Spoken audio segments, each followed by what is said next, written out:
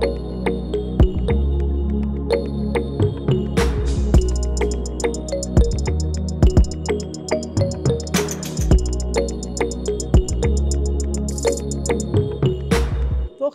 24 TV-ին շարունակում է աշխատանքը, տաղավարում այսօր իմ հյուրն է Լուսավոր Հայաստան կուսակցության փոխնախագահ Դավիթ Խաժակյանը։ Բարև ձեզ, պարոն Խաժակյան, շնորհակալ եմ այսօր ընկալվելու համար։ Դուք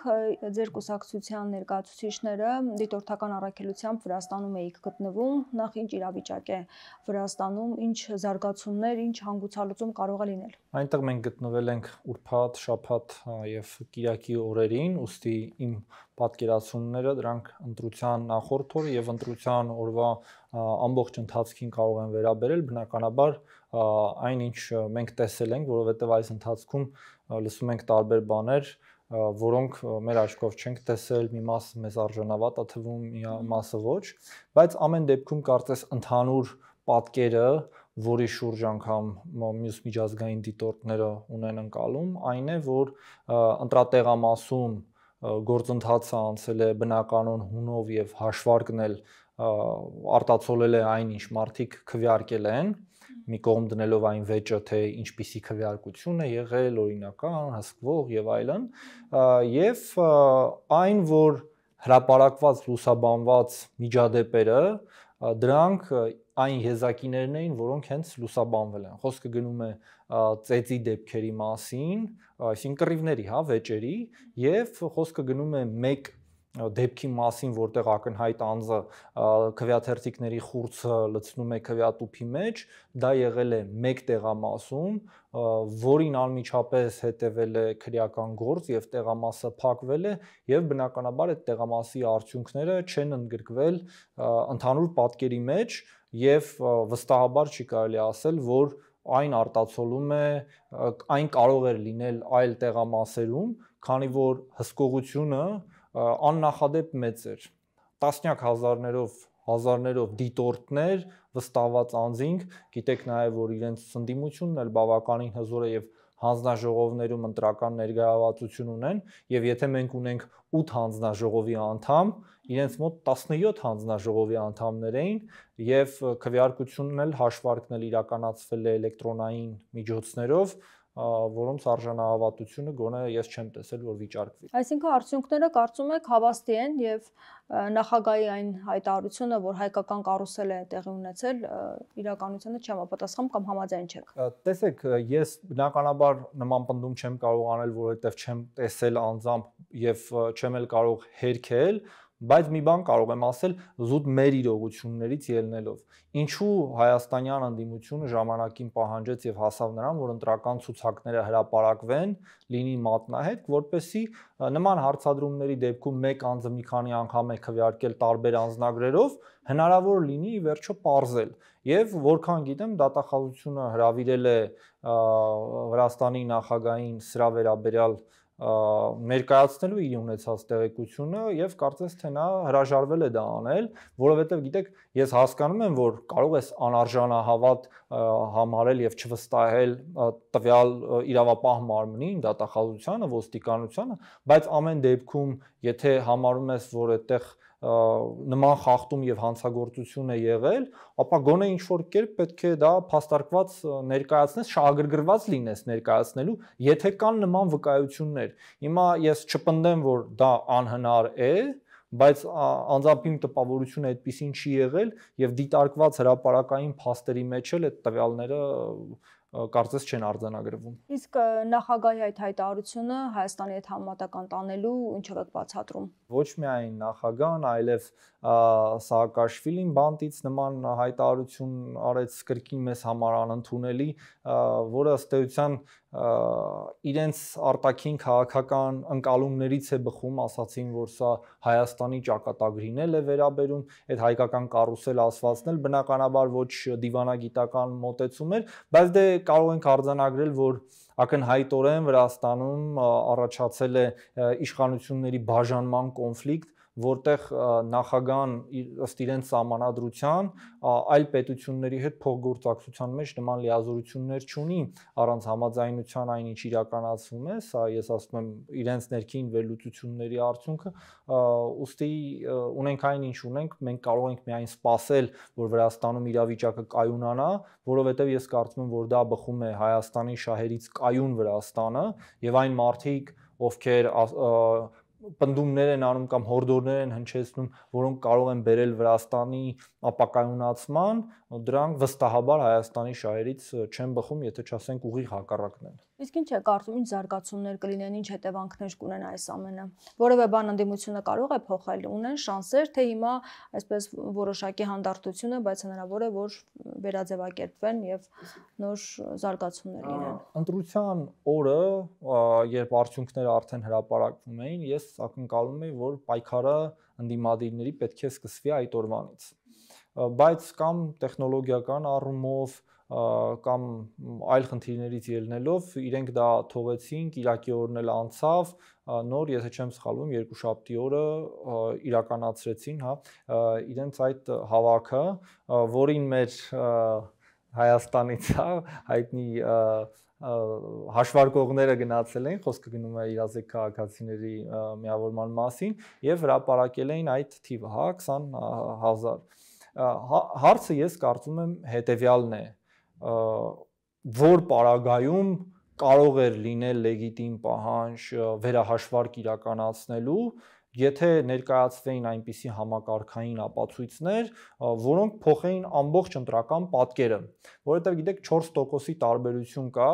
եւ եվրոպացի տարբեր ներկայացուցիչներ, վերցնենք Շարլ Միշելը, քննադատաբար մոտեցավ վրացական ընտրություններին որտեղ 17 ուժ է մասնակցել, 5 ուժ անցել է խորհրդարան, շնորհավորեց ընտրված ուժին, բայց օրինակ 5-րդ անգամ վերընտրվող Իլհամ Ալիևին, ով 90%-ին մոտ արդյունք էր ցույց տվել, նա շնորհավորել էր։ Հիմա այս մոտեցումը բնականաբար խոսում է այդ եվրոպացի պաշտոնյաների ոչ անաչառ լինելու մասին եւ ես չեմ կարծում թե սա կարող է լինել արժանահավատ տեսակետ որ եթե որևէ պաշտոնյա կամ երկրի ղեկավար քննադատում է այդ ընտրությունները ուրեմն բազմաթիվ տեղեկություններ ունեն որ դրանք խախտված են ակնհայտ է որ իրենց դուր չի գալիս Վրաստանի վարվող արտաքին քաղաքականությունը որը ոչ թե պրոռուսական է այլ հակառուսական չէ Եվ երբ ինձ ասում են, որ Վրաս Վրաստանի իշխանությունները պրոռուսական են, ասում եմ ինձ մի քայլ ցույց տվեք, որով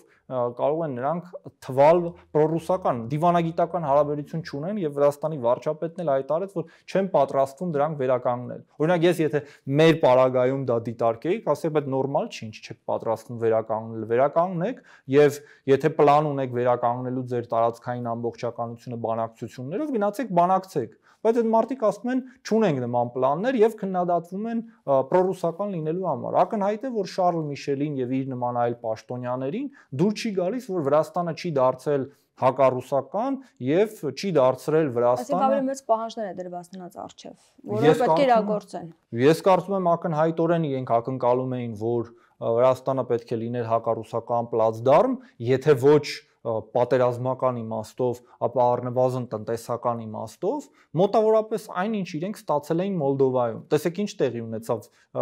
մեկ ամիս էլ չի անցել Մոլդովայի ընտրություններից, որտեղ նախագահան չի հավաքել մեծամասնություն, բացարձակ Եվրոպամետ նախագահ է, Եվրամիության անդամակցության ռեֆերենդումն էլ մեծ հարցադրումներով թե ինչպես արդյունքը վերջին մի քանի ժամերին փոխվեց դրսում քվեարկածների հաշվին 51% անգամ չի հավաքել, հա եւ էլ չասենք որ դա կազմում էր երկրի բնակչության 25%-ը։ Հիմա Մոլդովային հասցրել են մի օրվան, որտեղ Մոլդովան բացասական տնտեսական աճ է ունեցել, լրջագույն տնտեսական խնդիրներ ունի, իսկ Վրաստանը ունի 7% տնտեսական աճ։ Մենք էլ ի շնորհիվ առևտրաշրջանառության Ռուսաստանի հետ ունեցել ենք անցած տարի 12% տնտեսական աճ։ Հիմի բնականաբար իրենց դա դուր չի գալիս, բայց փոխարենը իրենք այլ բան չեն առաջարկում, չեն ասում, եկեք ձեր տնտեսությունը թեքեք մեր ուղությամբ, մենք ձեզ արտոնություններ կսահմանենք։ Իրենք պարզապես ասում են դուք մի առևտուր արեք Ռուսաստանի հետ եւ ընդհանրապես մտեք այն հակադրության մեջ, որտեղ որ մենք ենք ինչից հրաժարվեց ըստ էության Վրաստանը։ Բայց նրանք գործընթացներ են շարունակում եւ Վրաստանում Եվրամիության դեսպանը նշել է, որ Եվրամիությունը դադարեցրել է Վրաստանի անդամակցության գործընթացը Եվրամիության արժեքներից եւ սկզբունքներից երկրի շեղումների պատճառով։ Գործընթացը կասեցված կմնա այնքան ժամանակ, քանի դեռ Վրաստանը շարունակում է հեռանալ Եվրամիությունից։ Իսկ ինչ են ստանալու իրենք այդ մոտեցումով դեպի ուր են մղելու Վրաստանին։ Վրաստանի սահմանադրության մեջ գրված է ձգտումը դեպի Եվրամիություն, եւ ՆԱՏՕ։ Իշխող ուժը իր քարոզչությունը հենց այդպես էլ իրականացրել է, որ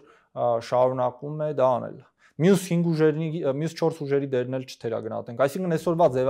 ձևավորված կամ կիսաձևավորված վրացական խորհրդարանում բոլորը ունեն կոնսենսուս, որ Վրաստանը պետք է դառնա Եվրամիության անդամ։ Հիմա եթե եվրոպացի գործընկերները, չինովնիկները ովքեր տարվել են ամեն կերպ այդ Ռուսաստանի դեմ ինչ որ միջոցներ իրականացնելով Վրաստանին դնեն այդ նույն տրամաբանության մեջ եւ համագործակցության դռները փակեն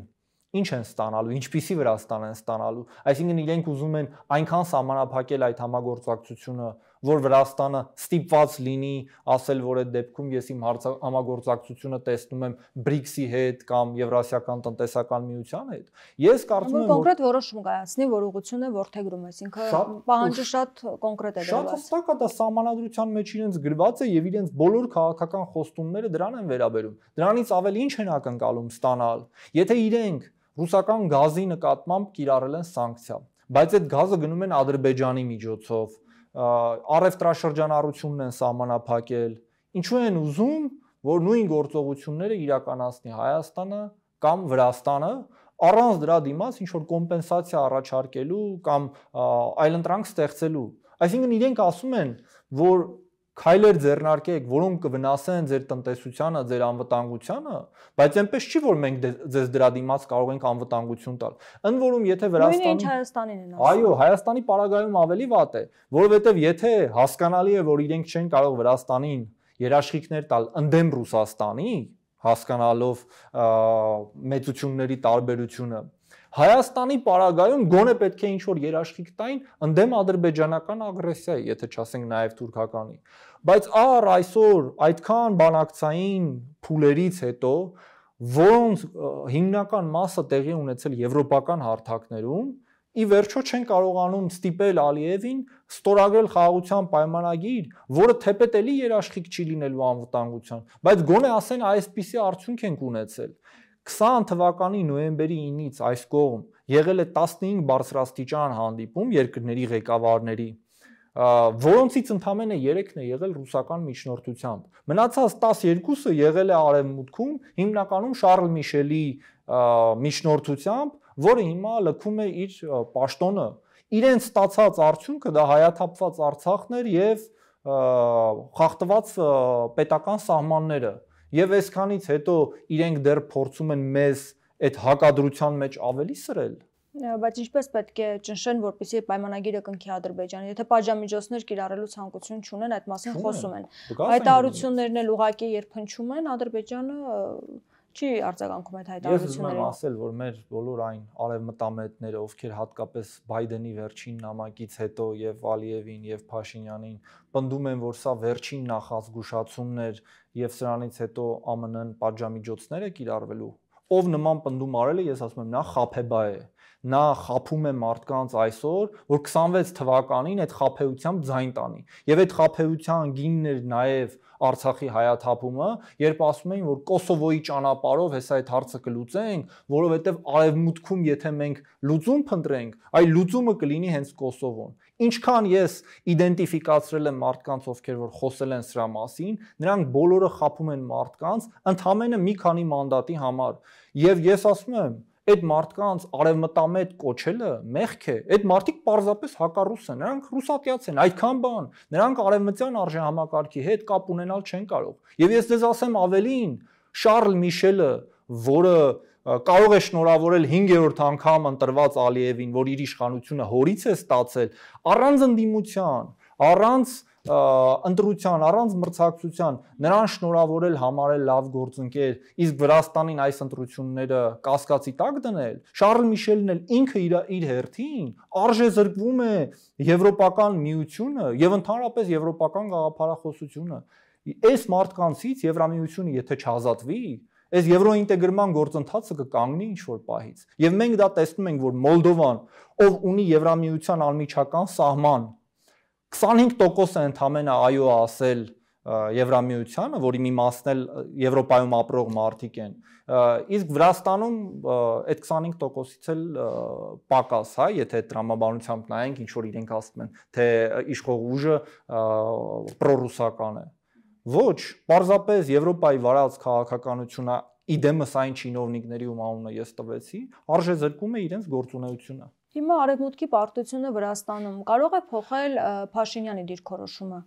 արտաքին քաղաքականության վերաբերյալ, որովհետև շատերն ասում են, որ Վրաստանի ընտրությունները շատ կարևոր են եւ նաեւ Փաշինյանը սպասում է ինչ-որ առումով տեսնի, թե ինչ է կատարվում Վրաստանում, ըստ այդմ նաեւ որոշում կայացնի Ռուսաստանի հետ հարաբերությունները ինչպես շարունակել։ Ես կարծում եմ առնվազն այս փուլում արդեն իսկ Փաշինյանը փորձում է առնվազն պահպանել եղած հարաբերությունները եւ դրա համար գնաց վերջին ԱՊՀ գագաթաժողովին, Կազանում մասնակցեց այդ BRICS-ի համաժողովին, բայց իհարկե հիմնական սպասումը լինելու է ԱՄՆ ընտրությունները նախագահական, որտեղ բնականաբար Տրամպի հաղթանակը, եթե այդպեսին լինի, շատ բան է փոխելու տարածաշրջանում եւ մենք կստանանք մի իրավիճակ, որտեղ ոչ թե մեզ չեն տանի Եվրոպա, որտեղ այսպես թե այնպես նման մտադրություն Եվրոպական միությունը ակնհայտորեն չունի, այլ չեն ներշնչի այնպիսի հույսեր, որոնք մեզ կդրթեն այլ քայլերի, մասնավորապես ընդդեմ Ռուսաստանի քայլերի, որից մենք կտուժենք։ Եվ երբ արդեն դա տեղի չի ունենա, ես կարծում եմ այդ ժամանակ Փաշինյանը պոտենցիալ կարող է դառնալ տարածաշրջանի ամենա պրոռուսական երկիրը, բայց ինչ գնով, ինչերից հետո, ինչ դեպքերից հետո, Արցախի հայաթափումից հետո, այսքան կորուստներից հետո եւ բնականաբար դա մենք արձանագրենք, որ մեր շահերից չի բխում, բայց դրանից վատ սցենար էլ կարող է լինել, դա վատագույն սցենարը չի, այ հիմա թող այդպես լինի։ Ավելի վատ սցենար կարող է լինել, որ մեր խորհրդարանը դառնա մոտավորապես այնպեսին ինչպեսին կա Մոլդովայում եւ մեզ մեր երկրի շահերի դեմ բաներ պարտադրեն, որի արդյունքը լինի ոչ թե ռուսական ագրեսիան, ինչպես օրինակ կարող էր սպառնալ Վրաստանին, այլ Ադրբեջանի եւ Թուրքիայի, որովհետեւ այսօրվա գործողությունները հենց դրան են տանում։ Այսինքն հնարավոր է առաջիկայում հռետորաբանության նաև փոփոխություն լինի իշխանության կողմից եւ հասարակությանը այլ քարոշչություններ կայացվի Ռուսաստանի հետ կապված։ Այո, դե հիմա պատկերացրեք այս Եվրոպական միությանը միանալու հանրակվեն, արդյունքները գնալու են ազգային ժողով, ես չգիտեմ ինչպես այդ ուժերը կքվեարկեն, բայց եթե այս պարոնայք ովքեր նախաձեռնել էին այդ հանրակվեն, իրենց մղումներում անկեղծեն, ապա պետք է գնան 300.000-ի ստորագրությունները հավաքեն եւ հասնեն նրան, որ ռեֆերենդում լինի։ Եթե իրենք համոզված են, որ մեր հասարակության մեծամասնությունը պատրաստ է ապրել այնպես, ինչպես ապրում են Մոլդովայում կամ Ուկրաինայում, հա, դա այդ ընտրության սցենարն է եթե նման իրավիճակ լինի, ես կարծում եմ արդեն իրենք կդառնան ընդդիմադիրներ Փաշինյանին, բայց բնականաբար Փաշինյանը ինչ որ միջոցներ կգտնի այդ պայքարի մեջ մտնելու, իսկ մեր խնդիրը իշխանությունը, հռետորաբանությունը, որովհետև հիմա հակառուսական հռետորաբանություն է, անկամ եթե Փաշինյանի շուրթերով չի հնչում, ազգային ժողովի նախագահի մակարդակով եւ պատգամավորների շուրթերից դա հնչում։ Այո, այո, նախ հռետորաբանության մակարդակով, բայց եկեք կոնկրետ քայլերին էլ անդրադառնանք խոսք խոսվում է կարևորագույն խնդրի մասին, ատոմակայանի մասին, չէ։ Ասում են, որ դիտարկում են մոդուլային ատոմակայանները, որոնք հիմնականում խոսվում է Ամերիկայի ամերիկյան կազմակերպության կողմից առաջարկվող մոդուլային ատոմակայանի մասին, ընդդեմ այն ատոմակայանի, ինչ որ առաջարկվում է ռուսական կողմի կողմից, եւ խոսքը գնում է Իրենք ասում են ընդդեմ չի համատեղում ենք։ Տեսեք, համատեղել որպես այլ ընտրանք ենք մենք դիտարկում։ Համատեղել չի կարող եւ խոսքը գնում է մի պրոյեկտի մասին, այդ մոդուլային ատոմակայանը, որը աշխարհի դեռևս որևէ քաղաքում, որևէ երկրում գետնի վրա գոյություն չունի, այսինքն այն դեռևս նախագիծ է։ Իսկ խնդիրը ինչու՞մն է։ Մենք 10 տարով երկարաձգել ենք մեր ատոմակայանի գործունեությունը եւ պետք է այսօր սկսենք նորի նախագծումը, պրոյեկտի իրականացումը։ Եթե դա տեղի չունենա 2030-ական թվականներին Հայաստանը ունենալու է էներգետիկ ճգնաժամ, քանի որ եղած ատոմակայանի ժամկետը կսպառվի, բնականաբար այդ մոդուլային ատոմակայանը կյանքի չի կոչվի եւ մեզ մնալու է ինչ այլ ընտրանք, գնալ Թուրքիայից գնել հոսանք, որը կարտադրվի Ռուսաստանի կողմից կառուցվող այդ Աքինչի, հա, ատոմակայանի միջոցով։ Հիմա սա այն ճանապարհն է, որը տանում է մեր իշխանությունը։ Կարծում եմ հենց այդ ճանապարհն է։ Եթե նման հարցադրում կա փոխարինելու առաջարկվող ատոմակայանը մոդուլային դեռևս գոյություն չունեցող ատոմակայանի հետ։ Եվ ես պատասխանատու կերպով ասում եմ, այն մարդիկ, ովքեր զբաղված են Հայաստանում դրա լոբինգով, նրանք ոչ թե ներկայացնում են ԱՄՆ-ի շահերը, որովհետև հասկանալի է, որ ԱՄՆ-ն գիտի ինչքանով է իրատեսական սահմանված ժամկետներում այդ ատոմակայանը Հայաստանում կառուցել նաև դրա քաղաքական խնդիրները հաշվի առնենք, հա, Իրանի գործոնը, Ռուսաստանի գործոնը,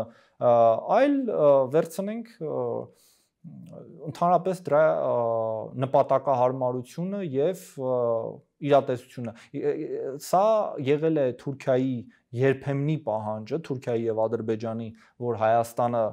ճունենա ատոմակայան եւ այն մարդիկ ովքեր Հայաստանում սпасարկում են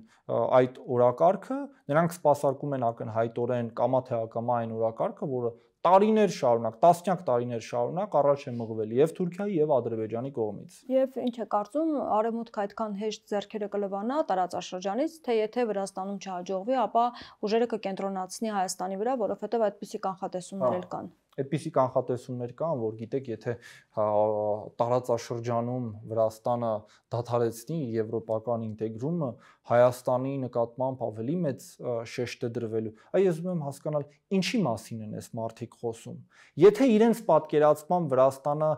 դառնում է պրոռուսական, այդ արևմտյան զենքը ոնց պետքա գա, պրոռուսական, ինչին ես համաձայն չեմ, բայց իրենց պնդումների տրամաբանության մեջ եմ ասում։ Պրոռուսական բանով, հա, Վրաստանով ինչպես պետք է գա, կամ արևմտյան զենքը ինչպես պետք է գա հակաամերիկյան Իրանով, հա, այսպես ասած Մյուս կողմից ես կարծում եմ, որ ինչ ժեստ, ինչ քայլ հնարավոր էր, որ Հայաստանը իրականացներ, արել էր եւ ավելին արևմուտքից որպես այդպեսին չէր ստացել։ Ինչպիսին էր Եվրոմիության քաղաքականությունը արևելյան գործընկերության երկրների նկատմամբ։ Ավելին ավելիի դիմաց, չէ։ Հիմա Հայաստանը ավել է արել է շատ ավելին, Դրա դիմաց չի ստացել ոչինչ։ Եվ կներեք, այդ նույն պաշտոնյաները չէին ասում, ում հետ որ բանակցություններ էր իրականացնում Փաշինյանը, որ եթե Արցախի նշաձողը Հայաստանը իջեցնի, ապա դրա դիմաց գոնե մարդկանց անվտանգությունը կստանա։ Ինչի դիմաց մենք ստացանք էթնիկ զտում,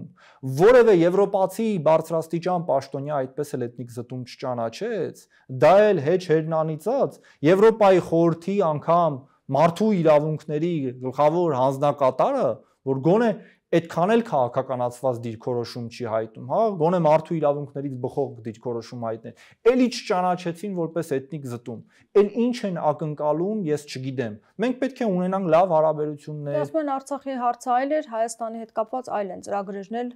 այլ են եւ հնարավորությունները մեծ։ Եթե դա այդպես է, ինչու էր Փաշինյանը ընդամենը մի քանի ամիս առաջ գնում մեր սահմանամերձ գյուղեր եւ ասում, որ եթե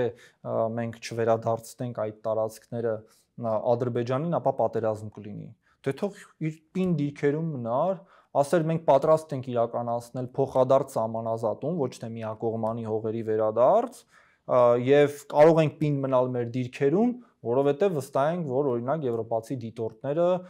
անվտանգային երաշխիք են հանդիսանում կամ ԱՄՆ-ն թույլ չի տա, որովհետև մենք շատ լավ հիշում ենք, որ արդեն մի քանի հանդիպում կայացել էր արևմտյան հարթակներում, երբ տեղի ունեցավ ջերմուկի այդ հարցակումը, եւ դրանից հետո բազմաթիվ Բլինկենի կողմից հայտարարություններ հնչեցին։ Հիմա տեսեք, ասում են Ռուսաստանը չէր ճանաչում մեր սահմանները։ Սա առանձին քննարկման թեմա է։ Հապն չի ճանաչում ընդհանուր։ Սա բոլորովին այլ քննարկման թեմա է, հա, բայց եթե ԱՄՆ-ն կամ Եվրամիությունը ճանաչում են, բայց դրա արդյունքում քո տարածքները շարունակում են մնալ օկուպացված եւ Ադրբեջանում էլ անցկացվում է մեծ հեղինակություն ունեցող միջոցառում, հա, կոպը։ Այդ ո՞նց է լինում այդպես, որ դա լավ է, հա։ Հայտարարեցին, որ ձեր հողերում եմ օկուպացրել են հետ գնացեք ելման դիրքեր։ Է հայտարարեցին, լավ արեցին։ Շնորհակալ ենք այդ հայտարարության համար։ Դրանով մեր դիրքերը ամրացան, մեր հոգսերը թեթևացավ, չէ՞ նույն խնդիրը մնաց որպես այդպեսին։ Դրա համար խնդիրներին պետք է լուծման տեսանկյունից մոտենալ, թե ինչպես կարելի է խնդիրը լուծել, ոչ թե սա կամ նա ինչ որ հայտարարություն արեց, որովհետև արևմտյան մեր գործընկերները այդ հայտարարությունների գործիքներին շատ լավ տիրապետում են։ Բայց ուժերի կենտրոնացում կլինի Հայաստանի հանդեպ արևմուտքի կողմից Ես նման կանխատեսում չունեմ, ավելին թե ներդրումների մակարդակով է դա զգացվում, թե իրենց ներգրավվածության։ Ես ձեզ ասեմ, Շարլ Միշելը կամ Եվրոպայի խորհրդի նախագահ որպես այդպեսին Եվրոպայում լուրջ գործադիր լծակներ ճանաչող պաշտոնյա է։ Եթե իրենք ունենային ռեալ հետաքրքրվածություն եւ ներգրավվածություն բազմաթիվ գործիքներ կգտնեին Ալիևի վրա ազդելու։ Ես ձեզ հավաստիացնում եմ, եթե Փաշինյանը որևէ երաշխավորում ունենար, որ շարունակի գործընթացը, ապա կստանա խաղաղության պայմանագիր։ Թեկուս սպիտակ թղթի կտոր, որի վերնագիրը գրած կլինի խաղաղության պայմանագիր, տակնել Փաշինյանի ու Ալիևի ստորագրությունը, Նա կգնար դրան, նա այդ քայլին կգնար։ Ուրեմն Փաշինյանը տեսել ու հասկացել է, որ անգամ այնտեղ դա չի կարողանում ստանալ։ Դրա համար է այսպիսի քայլեր անում, թե չէ գնաց ԱՊՀ գագաթաժողովին, BRICS գնաց, ձեզ թվում է այնտեղ առանձնապես բան են, մտահոգ էին, հա, Հայաստանը կգա, չի գա, հա, բնականաբար կուզեին որպես ցանկություն որ գար, բայց գերխնդիր դրված չէր, եթե Հայաստանը այսպես դիրք ընդուներ, ասեր մենք շարունակում ենք մեր բոյկոտը։ Այդ ինչի դրանից առաջ Արադ Միրզոյանը բոյկոտը։ Չէ՞ ուզում հարաբերություններն ավելի լարվեն։ Ուզում են այսպես միապաղաղ ընթանան։ Ինչու, ինչու, ինչև էս լարում չէ՞։ Հա, ինչև էս հայտարարում էին, որ թշնամական գործողություններ իրականացնող պետություններ են այս երկրները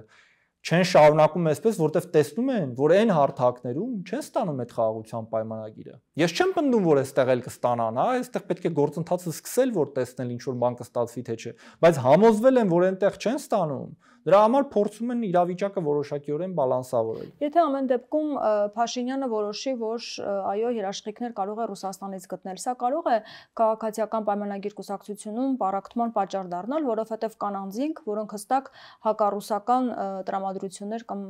գիծ ունեն եւ սա վեճի պարակման պատճառ կարող է դառնալ, թե ոչ։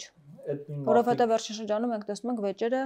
խմբակցությունում, կուսակցությունում շատ են։ Դե զբաղվում են, չեմ կարծում թե մենք պետք է ներքաղաքական իմաստով լուրջ վերաբերվենք իրենց խոհանոցային վեճերին, մինչև 21 22 թվականների ինչ որ մի հատված իրենք բոլորը տարածաշրջանի ամենապրոռուսական ներկայացուցիչներն էին, բայց դա անում էին ոչ այն կերպ, ինչը կբխեր մեր շահերից։ Ինչու՞մն է նմանությունը հանրապետականների, ԿՊ-ի վարած քաղաքականության եւ այս արևմտամետների իրենք Արևմուտքի կամ Ռուսաստանի նկատմամբ իրենց գործողությունները դիտարկում են ոչ թե Հայաստանի շահերից, այլ ասում են հələ մենք իրանց շահը բավարարենք, տեսնենք Հայաստանը ինչ կստանա։ Իրենք չեն նայում այ կոնկրետ ինչ ցանկանում են մեզնից ստանալ, դա բխում է մեր շահերից, թե չի բխում։ Լինի դա հայտարարություն, լինի դա կոնկրետ գործողություն։ Օրինակ, իրենք կարող են լսել ցանկություն, գնալ փաստաթուղթ ստորագրել, որ արևմուտքը կաջակցի մեծամորի ատոմակայանի փակմանը եւ կարծես նոր ատոմակայանի կառուցմանը։ Իրենք կարող են դա ասել, բայց իրենք պետք է բխեն ոչ թե այն շահերից, ինչ են մեզ ասում իրենք, այլ ինչ է մեզ անհրաժեշտ, մեզ անհրաժեշտ է որ մեր ատոմակայանը փակվի եւ մեր էներգետիկ ենթակառուցվածքները զրկվեն 40% այդ էներգիայից։ Թիմում կան արևմտամետ եւ ռուսամետ ուժեր։ Հիմա այս ուժերի մեջ լուրջ բախում տրամադրությունների լարվածություն կարող է լինել, դուք ինչ եք կանխատեսում։ Թիմում կա մեկ մարդ, ով որոշում է արտաքին քաղաքականությունը եւ դա վարչապետ Նիկոլ Փաշինյանն է։ Մնացյալ բոլորը կարող են դառնալ ամենա հակառուսը, անգամ անվտանգության խորհրդի քարտուղարը։ Անգամ անվտանգության խորհրդի քարտուղարը, այլ բան նախագահը եւս ազգային ժողովի նախագահն առավել եւս այդ այդ վեճերով ագնա ներկայացուցիչ է Ռուսաստանի։ Ես նրանցից ոչ մեկի մոտ այդ ճկունության խնդիր չեմ տեսնում, ճկվելու էս անգամ դեպի այն կողմ։ Այլ բան միջազգային իմաստով կընկալվի դա իրենք այդ մանյովրը կկարողանան իրականացնել թե ոչ օրինակ անգամ վրացական երազանքը վերադառնալով Վրաստանին այդ մանյովրը շատ զգուշ է իրականացնում չի ասում մենք չենք գնում արևմուտք դադարեցնում ենք ԵՄԱ դե, ինտեգրացիան գործընթացը արևմտամետ հայացքներ ունեն այսինքն այստեղ այլ է հասկանալի է բայց նախագահան նախ գործադիր լծակ չունի երկրորդ նախագահան հանդիսանում են նաև այլ երկրի քաղաքացի ֆրանսիայի քաղաքացի հիմա ինչքան էլ ես սիրեմ եւ հարգեմ մեր ֆրանսիացի գործընկերներին այլ պետություն է չէ իրենք էլ իրենց շահերն ունեն այս իմաստով դրա համար ես կարծում եմ որ մանավանդ մեր նման փոքր երկրները երբ դիտարկում են իրենց գործունեությունը որևէ երկրի կոնտեքստում, առաջին հերթին պետք է իրենց աչքի առաջ ունենան 3 օրինակ, շատ չեմ ասում։ Դա Ուկրաինայի օրինակն է, որտեղ աշխարհակաղակական մեծ բախում է, դա Լիբանանի օրինակն է, որտեղ աշխարհակաղակական մեծ բախում է, եւ դա Մոլդովայի իրավիճակն է լավագույն դեպքում համեմատած այս երկուսի, որտեղ պարզապես տնտեսական ստագնացիա է նրա պատճառով, որ իրենք այդպիսի քաղաքականություն են վարել։ Հիմա եթե մեզ դուր չի գալի մեր ասենք 7, 8, 10%-անոց տնտեսական աճը, ուզում ենք տնտեսական անկում ունենալ, Իհարկե կարող ենք իրականացնել ամենավատ մեր շահերից չբխող քաղաքականությունը, այն ինչ որ մեր շատ Դե իրենք ուզում են համատեղել չեն ուզում կտրուկ որոշումներ կայացնել։ Իրենց հայտարարություններն այդպեսին են։ Հարցեր կան, որտեղ համատեղում չկա։ Օրինակ ատոմակայանի հարցում համատեղում չես կարող իրականացնել։ Երբ որ ունես անմիջական հարևան Վրաստանը եւ մարդիկ կան, ովքեր ասում են, թե Փաշինյանը շտապեց շնորհավորել այդ հարևան երկրի ղեկավարությանը, առնվազն այս պահին գործող, Իմի ինչ ասես, ում շահերից են բխում։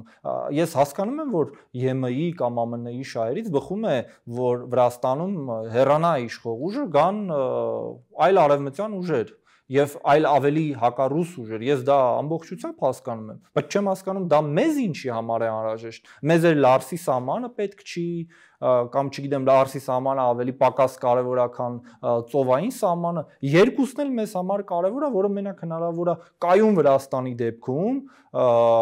եւ եթե Վրաստանը շարունակի այս քաղաքականությունը առաջ տանել, ես սա եմ շատ ավելի մեծ ձեռնտու տեսնում։ Դուք պատկերացնեք, լիներ մի իշխանություն, որ ասեր մենք էլ չպետք է օթային սահման ունենանք եւ ցամաքային սահման ունենանք Ռուսաստանի հետ։ Փակեին այդ սահմանները։ Չկան այդպիսի երկրներ, որ արևտրաշրջանառությունը դադարեցրել են Ռուսաստանի հետ, ինչքան պագրանկետ են ունեցել, դրանք փակել են սահմանային անցակետերը։ Կան այդպիսի երկրներ։ Այսինքն մենք ուզում ենք, որ Վրաստանն էլ այդպիսի երկիր դառնա, ու մենք ինչ անենք։ Մենք մոռացել ենք 2008 թվականին, երբ ռուս-վրացական պատերազմը սկսվեց, Հայաստանում վառելիքի գինը չգիտեմ ինչքան էր դարձել, ապրանքը չէր գալիս, այդ ենք մոռացել, այդ ենք ուզում։ Դե մեզ պատրաստում են, որ մենք կարող ենք նաև հացի փոխարեն բրինձ ուտել, կարող ենք գազ չունենալ, որովհետև եթե ուզում ենք անկախ ազատ ապրել, պետք է զրկանքների պատրաստ լինենք։ Այո, այո, այսինքն որ ինչի անվան տակ, սուվերենության ճակերտավոր անվան տակ, իրենք մեզ պատրաստում են ավելի վատ ապրելուն Այդ նույնը արել է Մոլդովան, խնդիրը գիտեք ինչու՞մն է։ Լավ է հնչում ասել, որ մենք պետք է մեր էներգետիկ ենթակառուցվածքը դիվերսիֆիկացնենք, չէ՞, լավ կլինի, ասենք մենք կցանկանանք այլ երկրներից էլ գազ ձեռք բերել։ Մոլդովան փորձեց այդ դիվերսիֆիկացիան իրականացնել, հիմա շարունակում է գնել գազ Ռուսաստանից մի քանի անգամ ավելի թանկ սակագնով։ Հիմա ես հարց եմ տալիս, པարս տրամաբանական հարց։ Իրանական գազը արևմուտքի կողմից խստագույն սանկցիաների տակ է։ Ոնց են իրենք պատկերացնում Իրանից գազ ձեռք բերել։ Խստագույն սանկցիաների։ Քամալա Արիսին հարցնում են, ո՞րն է մեր ամենամեծ սպառնալիքը, ասում է Իրանը։ Ոնց են իրենք պատկերացնում Իրանից նման ձեռքբերում անել։ Թե պատկերացնում են, ասենք, Ադրբեջանից այդ ձեռքբերումն անել։ Եթե եթե սահմանը մեքենաների համար կամ երկաթգծի համար չեն կարողանում բացել, Ադրբեջանից գազը ո՞նց են ձեռք բերելու։ Շարունակելու են ձեռք բերել ռուսական գազ, բայց ոչ թե 165 դոլարով, որը աննախադեպ գին է ամբողջ տարածաշրջանի համար։ Աննախադեպ գին եւ մեր տարածաշրջանի համար եւ առավել եւս եվրոպական տարածաշրջանի համար Ումից պետք է առնեն, ես չգիտեմ։ Ոչ մեկից էլ չեն առնել, բայց իրենք իրենց տան ջերուցման հարցը կլուծեն։ Այն մարդիկ, ովքեր կգնան իրենց կընտրեն, եւ իրենք ունենան այդ մանդատները։ Անպայման Տիգրան Խզմալյանը մեր հաջորդ падգամավորների ցանկում է լինելու բայց որ ջերուցման հարց առաջանա, արդեն պետքա չգիտեմ ոնց լուծի պարոն Խզմալյանը այդ հարցը։ Իսկ ձեզ համար հասկանալի է քաղաքացիական պայմանագիր կուսակցությունը ինչ է կատարվում, ինչ հարցերի շուրջ է այդքան լուրջ տարաձայնությունները, ինչու են թիմերի բաժանվել, մեկը մյուսի դեմ գործում, ի՞նչն է պատճառը։ Պատճառը նա է, որ մենք խորհրդանում իրական ընդդիմություն չունենք, որ իրենց հետ պայքարեին, հիմա թողել են, դա չկա, իրար մեջ են պայքար մղում Հիմա տեսեք ընտրական օրենսգիրք են փոփոխում։ Ընդդիմությունը ինչ պետք է աներ։ Լիներ իրենց հիմնական օպոնենտը, որ իրենք ոչ թե իրար հետ գզվրտվեին, այլ պայքարային ընդդիմության դեմ։ Հիմա բերել են ընտրական օրենսգրքի փոփոխություն։ Դե պայքարում են ընդդիմության դեմ, էլ ինչպես պայքար են։ Խորհրդանում պայքարում են, դրսում պայքարում են, ասում են ինչ ասում են մեր հնարավորությունն է անում են, տենց են պայքարում։ Դե իրենք կարող են շատ բան ասել։ Չէ, բայց փաստացի դա այդպես էլ կա հիմա մենք տեսնում ենք, որ 21 թվականից հետո ավելի վատ արհավիրքներ եղան մեզ հետ, ներառյալ նաև հարցակումներ Արցախի հայաթափում, եւ դա տեղի ունեցավ շատ հարմար մի ընդդիմության պարագայում։ Այն ընդդիմության, որը 21 թվականին երբ ընտրվեց, փոխանակ այլ բաների ուշադրություն դարձներ, հայտարարություն տարածեցին եւ ասացին, որ այլևս Հայաստանում կա ազգային ընդդիմություն, որը թույլ չի տա Բաքվի բռնապետին կամ մեր իշխանություններին դիմելու հակահայ քայլերի։ Բայց թույլ չտա։ ասում են, եթե մենք չենք կարողանում, թող մյուս ընդդիմադիրներն անեն, ով է խանգարում իրենց։ Թող դուրս գան փողոցային պայքար ծավալեն, սահմանազատման կառավարքի հետ կապված խաղաղության պայմանագրեր։ Ինչով են իրենք խանգարում։ Եվ այդպիսի մի պայքար եւ շատ հաջող մեկնարկով եղավ եւ դա սրբազան պայքարն էր մինչեւ մայիսի 9 ներառյալ երբ այսպես ասած նախկին ուժերը, նախկին իշխանությունների կարկառուն ներկայացուցիչները իրենց ամբողջ ռեսուրսներով ներգրաված չէին։ Այն պահից, երբ որ հարթակում ներկապնակը արդեն իսկ པարզ էր, այդ շարժումը սկսեց մարել։ Ես դες པարզ բան ասեմ, եւ սա իմ համար ցավոտ է։ Սրբազանը մեծ գործ արեց։ Սրբազանը մեծ պայքարի դրսևորում ցույց տվեց ընդդեմ այդ միակողմանի հողերի հանձնման։ Բայց հետո այն մարդիկ, ում հետ ինքը ցավոք սրտի նախընտրեց շարունակել ճանապարհը, օգտվել իրենց ռեսուրսներից, իրենք իրեն հասցրեցին ամենամեծ վնասը։ Հիմա իրանք սրբազանի հետ են պայքարում, ասում են թող եթե իրենք համաձայն չեն մեզ հետ պայքարել, թող առանձին պայքարեն այն արտախորհրդանական ընդդիմադիր ուժերը, ովքեր ուզում են որ Փաշինյանը իսկապես հեռանա։ Ճիշտ են ասում, եւ մենք հենց այդպես էլ անում ենք, եւ մենք կարծում ենք տեսնում այդ պայքարը։ Չեք տեսնում առաջիկայում կտեսնեք, ինչու որովհետեւ մինչեւ այս մեր տիտուլային ընդդիմությունը այն ուժերն էին, որոնք կային խորհրդանում եւ հիմա արդեն հասկանալի է, որ այդ գործընթացը իրենք այդ գործառույթը չեն կարողանում կատարել եւ մենք մեզ համար խնդիր ենք դրել մեր քաղաքական դաշտում այն ուժերին, ովքեր կիսում են այս տեսակետները, որ հնարավոր չի գործող ու նախկին իշխանությունների միջև ընտրություն կատարել, այլ մեզ անհրաժեշտ է բալանսավորած քաղաքականություն, այս ուժերը պետք է առնվազն փորձ անեն համախմբվելու։ Այս գործընթացով պետք է զբաղվել մինչև 26 թվականը։ Հակառակ դեպքում, եթե այս ընդդիմությունը շարունակի պայքարել իշխանության դեմ, իշխանությունը եթե ինքնուրույն չկարողանա մեծամասնություն վերցնել, ապա այս մեր պայմանական արևմտամետ ուժերի հետ որոնց ես ավելի շատ անվանեցի հակառուս նրանք արևմտամետ կոչվելու իրավունք չունեն, կոալիցիայի միջոցով, ինչպես եղավ Երևան քաղաքում, փորձելու են մեծամասնություն կազմել եւ դա ամենայն հավանականությամբ կստացվի հիմա ինչ քայլեր են ձեռնարկվում հանդիպումներ քննարկումներ կան ինչ որ ուժերի հետ են Որ փուլում է, ինչ է դե, արվում։ Կոնսուլտացիաներ միշտ էլ եղել են, միշտ էլ կան, ժամանակը ցույց կտա այստեղ, այսինքն դա Այսինքն առաջիկայում լուսավոր Հայաստան կուսակցությունը փողոցային պայքարով հանդես կգա, գործողություններ կլինեն կոնկրետ։ Ես չգիտեմ տեխնոլոգիաների մասով դա կլինի փողոցային պայքար թե այլ միջոցներ, բայց այն, որ մեզ անհրաժեշտ է ալտերնատիվ մոբիլիզացիա, եւ մենք նկատի ունեմ քաղաքական գործիչները, իրենց հույսը չկապեն նախկին իշխանությունների ռեսուրսների հետ, ինչպես արեց Բագրատ Սրբազանը, ես կարծում եմ ավելի հնարավոր է, որ ինչ որ բան ստացվի, որովհետև գիտեք, ես առիթ եմ ունեցել տարբեր մարդկանց ասելու, քանի անգամ դուք պետք է մասնակցեք այդ ուժերի կազմակերպած շարժումներին, որ համոզվեք, որ չի ստացվելու իրենց միջոցով։ Այո, իրենք կարող են 10000, 20000, 30000 մարդ փողոցում մոբիլիզացնել։ Այդ ռեսուրսը իրենք ունեն, բայց խնդիրը իրենց մեծ հակավարկանիշն է Ընդ որում ես ասեմ, ես իմ ընկալումների իմաստով այդ հակավարկանիշի շատ դրույթներ կարողա չկիսեմ, բայց դա օբյեկտիվ է, որ մարդկանց մեջ կա։ Հակառակ դեպքում Միքայել Աճապայանը, Սրբազանը չէր խոսի սրա մասին։ Ինչու էր իրեն պետք ասելու, որ եղբայր դուրս եկեք քաղաքականությունից, հայտարարեք, որ դուրս եք գալիս։ Հիմա դուք երբ պնդում եք նկատի ունեմ կուսակցությունը, երբ պնդում եք, որ պետք է անդիմությունը մանդատները դնի, իրենք նշում են, որ նախ իրենք միայն իրենք չեն նշում, նաև իշխանությունն է նշել, որ որևէ խորհրդանական ճգնաժամ չի առաջանալու, քաղաքական ճգնաժամ էլ առանձնապես չի առաջանալու եւ անարդյունավետ ապարդյուն քայլ է լինելու։ Իրենք որակում են անդիմությունը, որակում է սա Նիկոլ Փաշինյանի օրակարգ, որpիսի ազատվի այս անդիմությունից ավելի վաղ, քան ընտրություններն են։ Ես ճիշտ եմ հասկանում հասկանում, որ իրենք ասում են մենք լինենք խորհրդարանում, թե չլինենք, դրանից բան չի փոխվում։ Այդ է այդ պնդման հիմքը։ Չէ, բայց եթե իրենք մանդատները դնում են, ոչ մի ճգնաժամ չի առաջանում խորհրդարանում։ Իսկ ասում են, երբ որ մենք խորհրդարանում ենք, ամեն դեպքում իշխանություն ունենք, ամեն դեպքում հաշվի են առնվում։ Ո՞ն ի՞նչն է հաշվի առնում, ո՞նց է հաշվի առնում։ Դե օրինակ ասում են փողոցային պայքար, երբ ծավալում ենք, ունենք մանդատներ։ Եվ ինչ են անում այդ մանդատներով։ Բանի փրկության շարժման ժամանակ ասացին, որ մենք խորհրդարան կվերադառնանք միայն մեր օրակարգով, իշխանապողության օրակարգով։ Հիմա իրար ծիծաղում են, վանեն ամիզմ եմ հասկանամ։ Դե միայն չեն ծիծաղում, նաև վիճում են, ծիծաղալ են։ Մի պահ եղել, որը ֆիքսել է։ Հաց եւ շոու, իմի հաց չեն կարողանում ապահովեն, գոնե շոու ապահովեն։ Չէ, եթե սա դնենք մի կողմ, ապա ամեն դեպքում ասում Փաշինյանի օրակարգն է, որ իրենք դուրս կան խորհրդարանը։ Մեր խորհրդարանը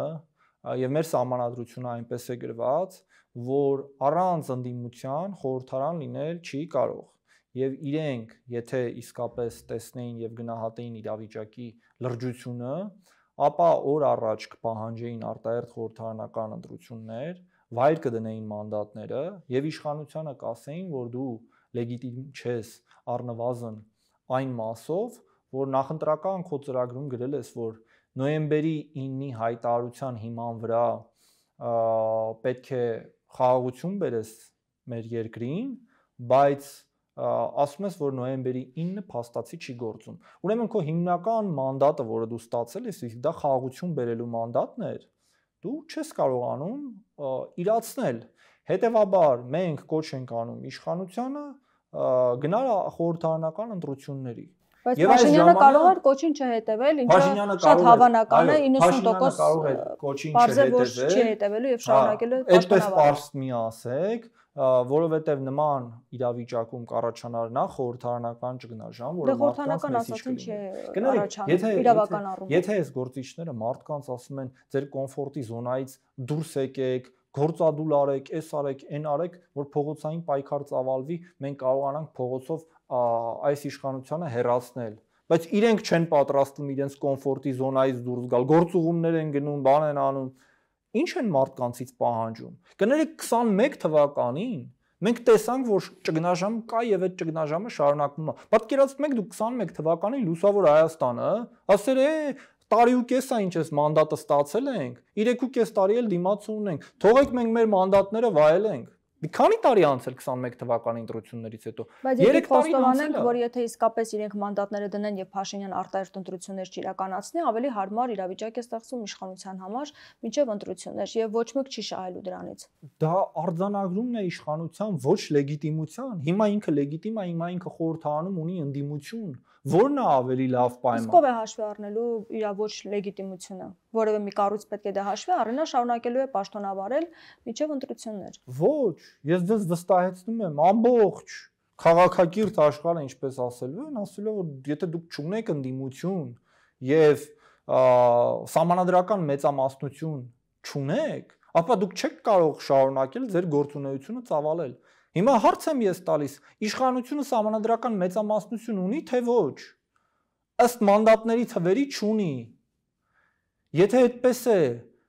անդիմությունը հրաժարական տա, մանդատները վայր դնեն, Ոնց է իշխանությունը շարունակելու իր բնականon գործունեությունը։ Կարող է շարունակել։ Հենց Վլադիմիր Վարդանյանն էր նշում, որ խորհրդարանում հնարավոր է գործընթացներ շարունակվեն, աշխատանքը բնականon հունով շարունակվելու է, դե, անգամ եթե մանդատները իրենք դնեն։ Ուրեմն նրանք խոստովանում են, որ իրենք խորհրդարանում լինեն, թե չլինեն, դրանից բան չի փոխվում։ Եթե այդ ապնման հիմքը ես համաձայն եմ ձերքերս բարձրացնեմ, ասեմ ես համաձայն եմ։ Դե եթե ձեր այնտեղ լինել, չլինելը բան չի փոխում, օքեյ, եղեք կամ մի եղեք, դա ի՞նչ է փոխում։ Ես չգիտեմ, իմ ընկերները եւ ես էլ էլի անկեղծ ասած դադարել ենք հետեւել խորհրդարանական գործունեությանը,